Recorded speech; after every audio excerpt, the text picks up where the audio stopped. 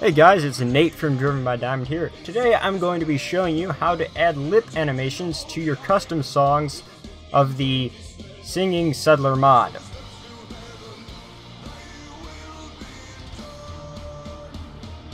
For those of you who do not know what the Singing Settler mod is, it allows you to build microphones and other singing related objects. You can then assign a settler to the object, and they will sing songs similar to Magnolia and the Third Rail. They will sing all the songs from Diamond City Radio. The females will sing the female songs, the males will sing the male songs. The mod also allows you to add up to 10 custom songs, and that's why we are here, because the songs do not come with lip animations, so we're going to add them to it. Enough about that, let's get started. Okay, the first thing that you're going to need is you're going to need your songs that you want to put in there. So I have a couple of my favorite artists right here. Then you're going to need a way to convert them to a WAV format, which is what Fallout 4 uses. Just Google MP3 to WAV, and you'll find a converter. This is what I used. I'll probably put a link into it into the description. Going to drag the song that you want to convert over to the choose file button. Don't mess with any of this stuff, it's all fine. Convert your file. This is going to take a couple seconds, and then it will download your song. Once it's finished downloading, go into your downloads folder, grab it, put it in here. I like to keep things organized, so I have a second folder for that. Now the next step is optional. If you want a slightly better result, you can do this. If you're not too worried about it and you just want their lips to move, then you can skip ahead. So for this next part, you're going to need a program like Audacity. The lip animation generator has trouble distinguishing between vocals and instruments. Especially with things that are metal, like Sabaton, it's going to have a harder time as opposed to things like Johnny Cash. So what you want to do is take your original MP3, put it into here, and then using the effect, you want to go to vocal reduction and isolation. Make sure this is selected to isolate vocals. Click OK. That's going to isolate the vocals, remove some of the instruments. And this is going to make it sound like crap. But wait, it's not going to in-game. All this does, this sort of highlights the vocals a bit more over the instruments and just export your audio. Leave Ghost Division. Again, save, okay.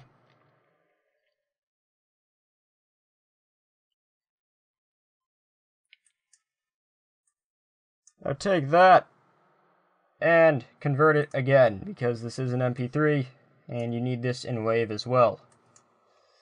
Okay, once the second converted file is downloaded, just go to your downloads, I have a second folder inside my Wave folder called Vocals for the modified, the Audacity modified files. Now, go to the Singing Settler page on the Fallout Nexus and find the file name of the custom song you want to use.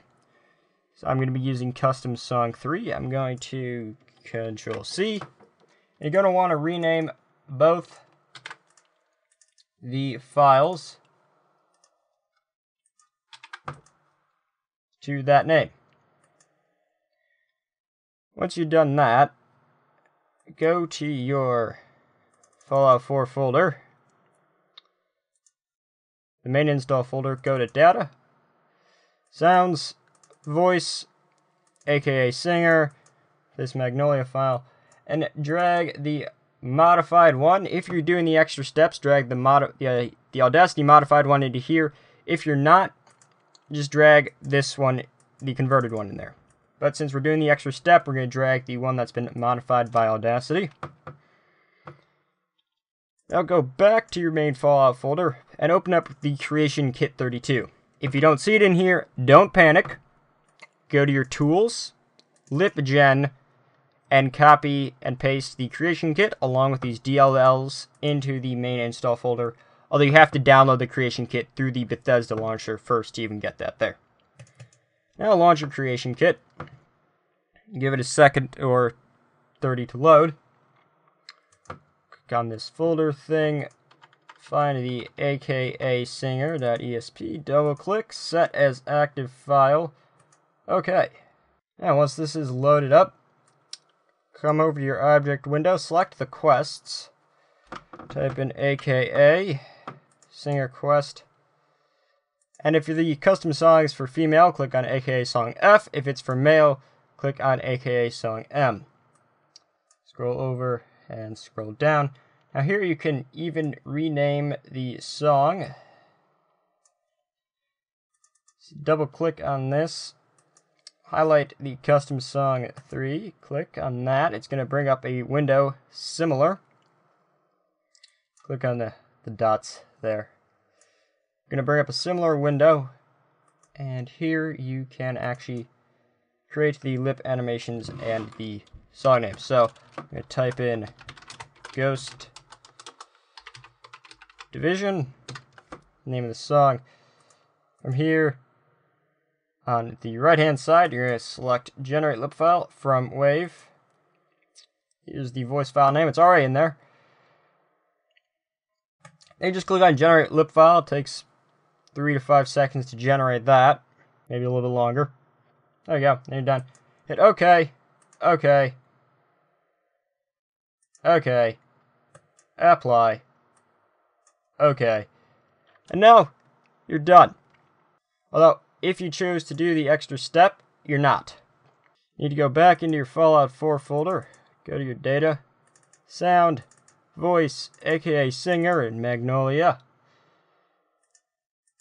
Now grab your converted one that has not been modified by Audacity. If you didn't do the extra step, don't even worry about this. You're ready to launch. Drag and drop in here and replace it. And now you are ready to launch your Fallout 4. There you have it, ladies and gentlemen. Custom lip animations for the custom songs in the Singing Settler mod. Hope you enjoyed the first tutorial I've ever made. Hopefully, it was not too shite. I don't think it was. Thank you so much for watching. Don't forget to rate, comment, and subscribe, and share my videos with your friends. Stay awesome. Have a great day, people.